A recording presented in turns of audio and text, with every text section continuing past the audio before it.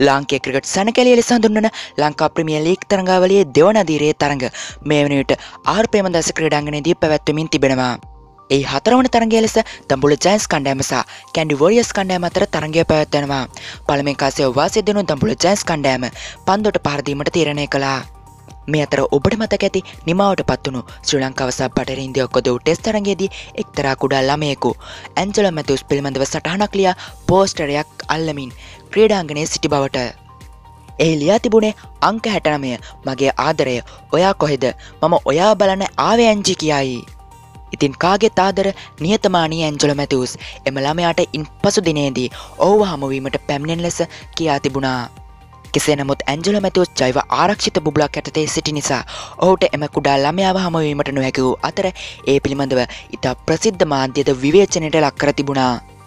මේ අතර ඊ දිනේදී නිමාවට පත්වුණු ලංකා ප්‍රමිය ලීක් තරඟාවලිය දෙවන තරගය වන කළම්බෝ ස්ටාස්සා ගෝල් ගැඩියටස් කණ්ඩෑම අතර පැවති තරගයේදී එම කුඩා දරුවා නැවතත් ඇන්ජල මැතිවස්ස හමුවීමට පැමිණ තිබෙනවා.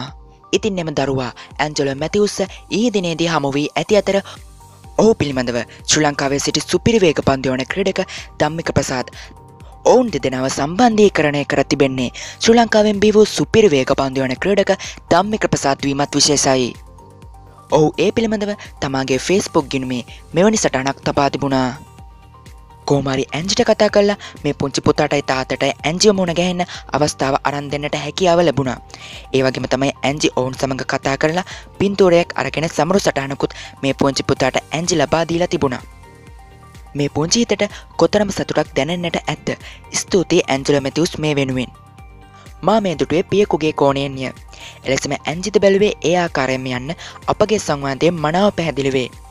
ක්‍රීඩකයන් සහ ප්‍රේක්ෂකයන් අතර ප්‍රශ්න ඇති කරනවට වඩා ක්‍රීඩකයන් සහ ප්‍රේක්ෂකයන් අතර අපරු බැඳීමක් අප මාධ්‍යයට ගොනීමට හැකි නේද?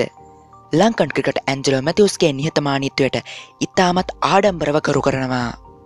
ඉතින් මෙවැනි පෑම්පෑ අලුත්වන ක්‍රිකට් පිටිය උණුසුම් පුවත් ලද සැනින් දැනගන්න ලංකන් ක්‍රිකට සබස්ක්‍රයිබ් කල්ලා එහ පැත්ත තියෙන සීනුවත් නාද කරන්න ලංකන් ක්‍රිකට් එනවා අලුත් වීඩියෝවකින් විදුලි වේගයෙන්